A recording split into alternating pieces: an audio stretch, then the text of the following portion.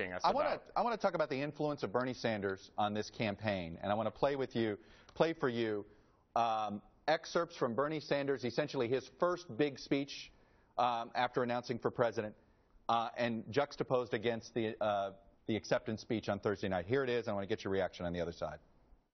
99% of all new income goes to the top 1%. But when more than 90% of the gains have gone to the top 1%, that's where the money is. And we are going to follow the money. The wealthiest individuals and the largest corporations that they are going to begin to start paying their fair share of taxes. Wall Street, corporations, and the super rich are going to start paying their fair share of taxes.